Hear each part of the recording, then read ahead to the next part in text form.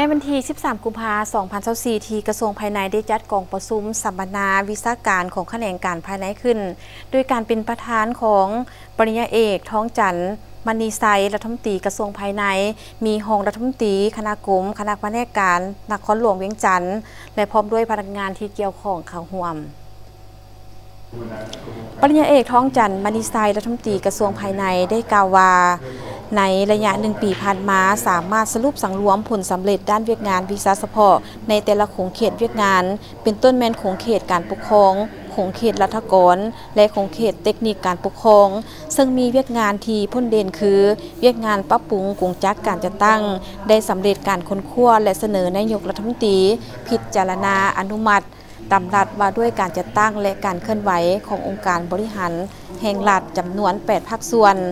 เวียกงานกำหนดตำแหน่งงาน เผยแพร่คำแนะนำเกี่ยวกับการกำหนดตำแหน่งงาน และแจ้งการเกี่ยวกับการแบ่งความรับผิดชอบเวียกงานกำหนดตำแหน่งงาน ให้บรรดากระทรวง องค์การคันศูนย์กลาง และองค์การปกครองท้องถิ่นรับผิดชอบโดยกุง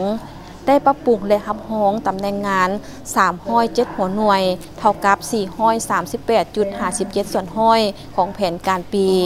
เวียกานคุ้มครองพลเมืองได้จดได้จดทะเบียน และออกใบยั่งยืนการเปลี่ยนสัญชาติจำนวน 4,000 กว่าคน พลเมืองกิติมาศักดิ์จำนวน 3 คน ได้ป้อนข้อมูลเข้าในระบบ และออกใบยั่งยืนการเกิด และการเสียชีวิตให้พลเมือง รวมจำนวน 5,000 กว่าคน และได้เสื่อมต่อระบบข้อมูลพลเมืองกับกระทรวงการต่างประเทศ กระทรวงศึกษาธิการและกีฬา เวียกงานเก็บกรรมสถิติพลเมือง สังรวมประจำปี 2023ปัจจุบันมีพลเมืองลาว 7 ล้านกว่าคนหญิง 3 ล้านกว่าคน การยกย้ายของพลเมือง 12,000 กว่าคน เวียกงานคุ้มครององค์การจัดตั้งทางสังคม ได้ออกขอตกลงว่าด้วยการอนุมัติ สั่งตั้งหับห้องกฎระเบียบและคณะบริหารสมาคมมูลนิธิที่สั่งตั้งใหม่จำนวน 6 สมาคมหามูลนิธิปัจจุบันรวมมีทั้งหมด 273 หัวหน่วย เวียกงานคุ้มครองรัฐกรได้อนุมัติตัวเลขรัฐกรใหม่ ประจำปี 2023จำนวน8ห้อยโกต้า